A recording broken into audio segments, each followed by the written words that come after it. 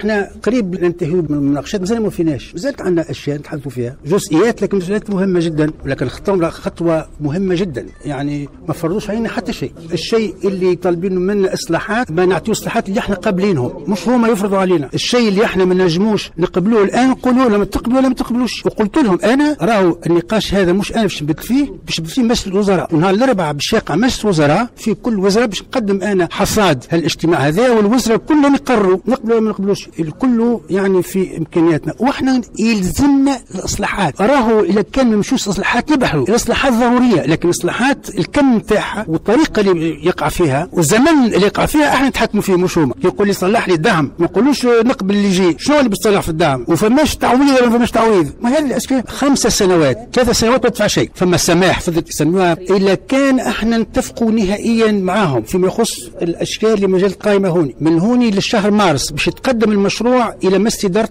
صندوق النقد الدولي في مارس. إذا بات مجلس إدارة وبالقبول يدخل حيز التنفيذ. فمارس ديبي أفريل لمدة عامين باش يغطي لنا اسيورونس لمدة عامين. الآن في حدود 45 46% إحنا ماذا بينا أقل؟ لكن 46% راهو في مستوى مش مش كثير. عندنا 570 مليون دينار تقريبا في ميزانية 2013 اللي هي نقصناها من الدعم.